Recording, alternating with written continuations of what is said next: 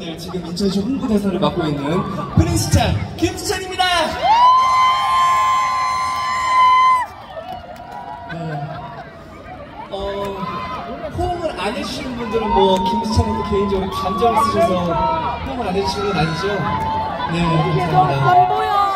또 이렇게 앞에 이렇게 또 마련되어 있는 테이블에 맥주가 많이 놓여 있는 걸로 보여서 맥주를 많이 드셔가지고 무조건 잘생겼다고 막 하시는 거 아니죠? 네. 감사합니다. 네. 제가 왜 인천의 아들이냐고 이렇게 MC 그또 설명을 하신다면 제가 또 중고등학교를 인천에서 나왔거든요.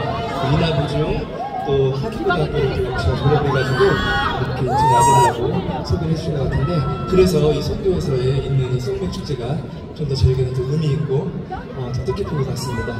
여러분들 재밌게 즐기고 계셨죠? 네, 그래도 해도 지고 이렇게 하니까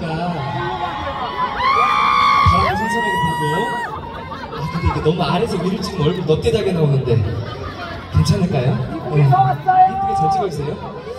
감사합니다.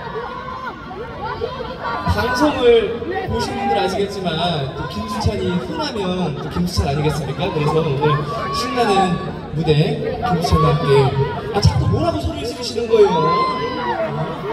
어? 외국에서 오셨다고? 아 감사합니다. Thank you much. 감사합니다. 네, 어? 콜로라도 콜로라도에서 오셨구나. 네, 많이 이렇게 enjoy 엔조이. 그래서 가방도 또 괜찮은데 이렇게 이런 데서 다 이렇게 엔조이. 여러분들 이렇게 무대에서 저는 혼자인데 여러분들이 다 말씀해 주시는 거 제가 하나도 안 들리거든요. 서운하게 생각하지 말아주시고 저 멀리 계신 분들도 제가 신나게 다 좋아요. 손 한번 들어주시겠어요? 네, 감사합니다. 오늘 그래도 이 매트와 함께하는 이 무대이니만큼 여러분들 신나게 흥을 네 알겠어요. 좀 뒤로 계신 분안 보이시니까 또 비싼 테이블 잡으셨는데 근데 이거 뒤에 얼굴이 너무 크게 나오는 거 아니에요? 예뻐요.